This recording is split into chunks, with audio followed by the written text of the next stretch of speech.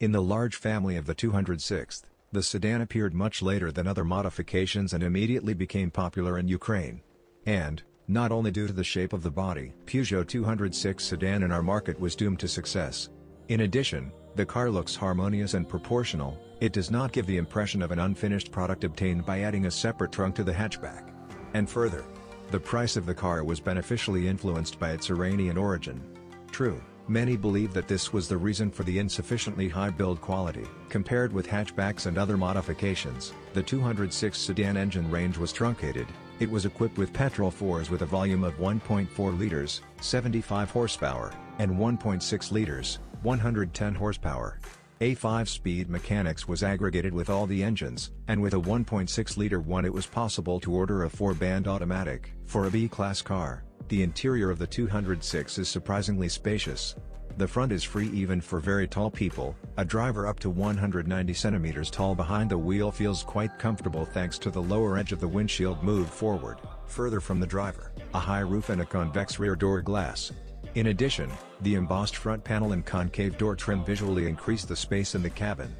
Behind it is convenient only for two, but both the back and the seat fold. When choosing a used 206, it is better to give preference to instances with a regular fabric interior. Velour upholstery wears out quickly. The sedan is well equipped. The basic version had two airbags, a CD radio, central locking, power steering and electric front windows. The next version came with climate control, rear electric windows, ABS and alloy wheels, so you can find a copy for every taste on the secondary, have proven themselves in Ukrainian conditions. It is difficult to find 1.6-liter cars on the secondary market. Both motors digest 90-second gasoline well. True, this does not mean at all that it can be of poor quality. Due to the resins contained in the fuel, the 1.6-liter, for example, jam the valves in the guide bushings. The result is bent valves and repair of the blockhead.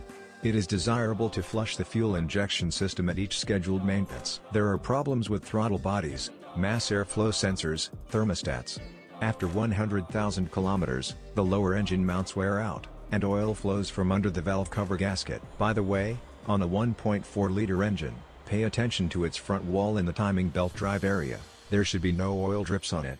Otherwise, you will have to change the gasket or even the head of the block, if it overheats, it can lead. The manual gearbox, which can loosen the gear shift mechanism over time, is generally reliable, which cannot be said about the AL4 machine. He rarely takes care of more than 100,000 kilometers.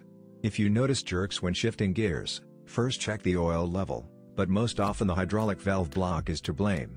To extend the life of the machine, make it a rule to warm up the box during the cold season. It is advisable to drive the first kilometers smoothly, keeping the engine speed at a level of no more than 2000 revolutions per minute. A small Peugeot with a fully independent suspension has McPherson struts in front and two transverse torsion bars in the back. In operation, the chassis rarely breaks down, its replacement is not burdensome. The most sought-after parts are the stabilizer struts, which are usually enough for 40,000 kilometers, front brake pads and discs. The remaining elements of the chassis are very durable, and their replacement is inexpensive. The engines have a toothed belt in the timing mechanism. When it is replaced, the pump is also updated. Monitor the health of the fan relay, which is located low, it fails from dirt ingress. Mechanics is durable, only by 100,000 kilometers can its lever become loose. More problems with the machine, so automatic transmission diagnostics when buying a used 206 will help to avoid considerable expenses. In the front suspension, only after 40,000 kilometers of run, the stabilizer struts and tie rod ends or tie rod assemblies will make themselves felt. Shock absorbers cost 100,000 kilometers. There is nothing to break in the rear suspension, the torsion bars themselves are durable. Shock absorbers are able to withstand up to 100,000 kilometers. The body is reliably protected from corrosion, so there is no rust on specimens that have not been in an accident. But from an action, they usually use the central lock. The larvae of the door locks quickly turn sour. They, as well as creaking door stops, should be periodically lubricated with grease. Electrical equipment is subject to failures, which, although irregular, occur in the onboard network.